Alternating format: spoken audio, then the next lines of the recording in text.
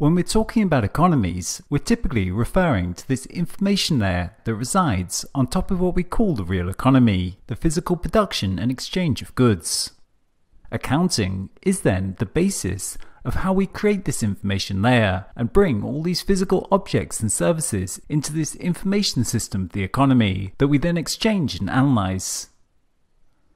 The earliest, most rudimentary economies of pre civilization may have existed purely in a physical form, but an economy of any complexity requires that the real system is translated into this virtual information form.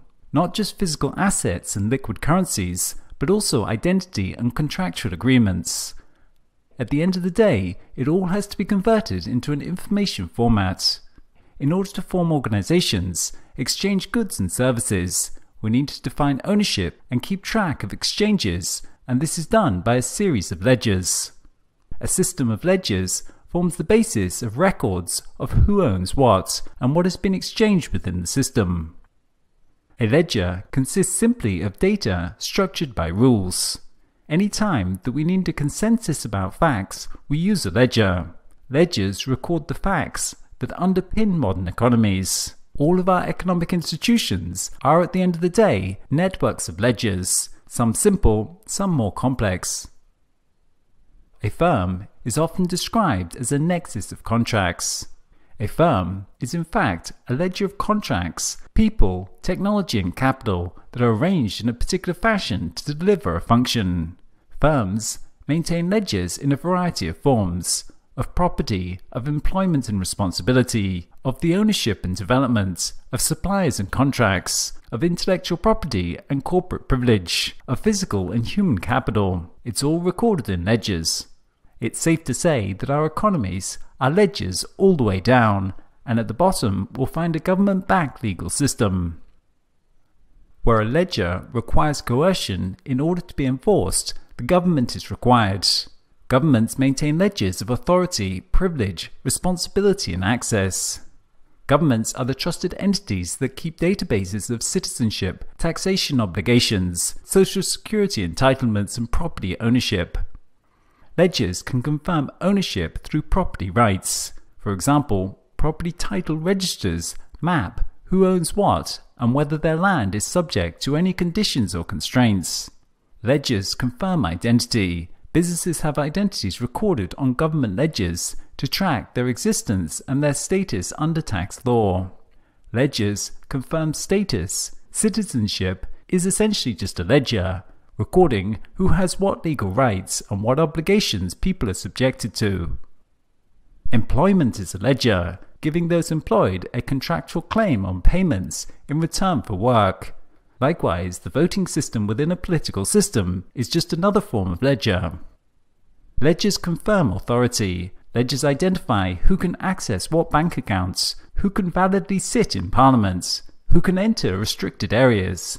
At their most fundamental level, ledgers map economic and social relationships. They can be understood as agreements about the facts and when they change. This consensus about what is in the ledger and its accuracy is one of the fundamental bases of a market economy, and indeed the contractual agreements structuring our whole societies. Ledger technology has for thousands of years remained largely unchanged. Ledgers originated with the beginning of written communications. Ledgers and writing developed at the same time in the ancient Middle East to record production, trade, and finance. Ancient clay tablets with cuneiform scripts listed units of work, taxes, rations, etc. The first international trade networks worked through a structured network of alliances that functioned a lot like distributed ledgers. The modern era brought the first major changes to ledgers in the 14th century with the invention of double entry bookkeeping. By recording both credits and debits, Double entry bookkeeping allowed for the efficient reconciliation of information between different ledgers.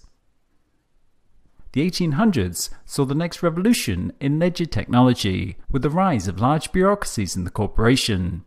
These centralized ledgers enabled major increases in organizational size, scope, and efficiency, but relied completely in the trust in the centralized institution.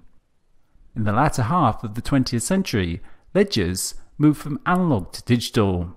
For example, national databases of passport ledgers were digitalized and centralized. These digital databases are computable and searchable, making them greatly more efficient. However, a database still relies on trust. A digital database, however efficient it may be, is only as reliable as the organization that maintains it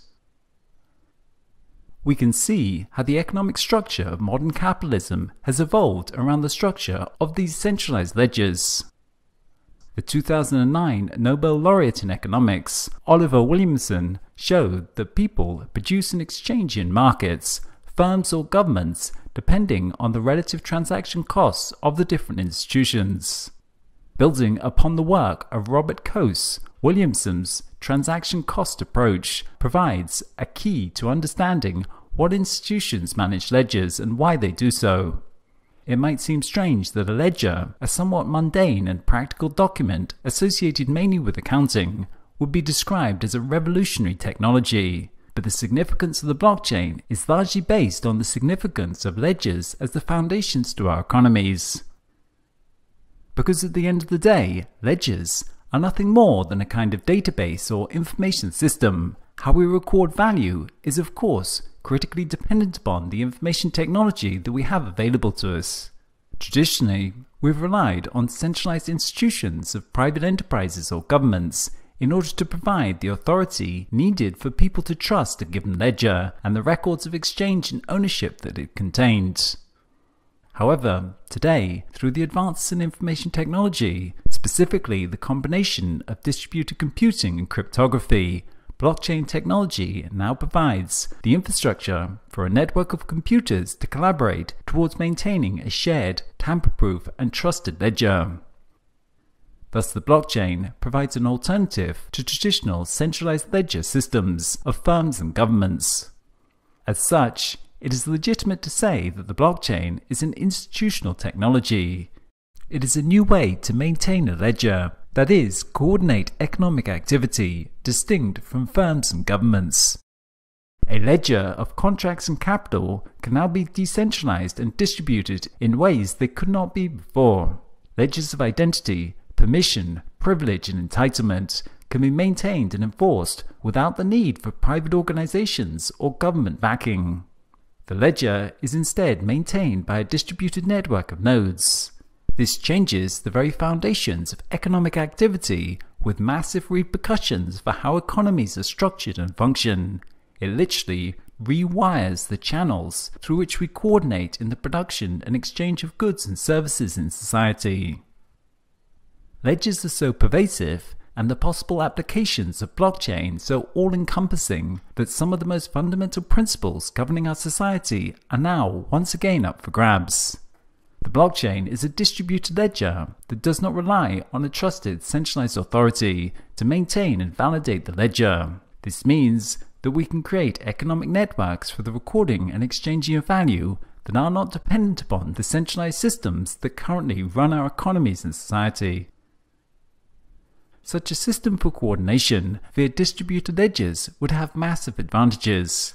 It would drastically reduce the cost of recording and thus make it possible for us to expand formal legal systems in economic activity. For example, to the 2.4 billion people that currently have no formal ID, or the 70% of global population that has no documented land rights. But also to record extremely small exchanges of value that are currently not feasible, and to also account for new forms and different forms of value that are currently unaccounted for.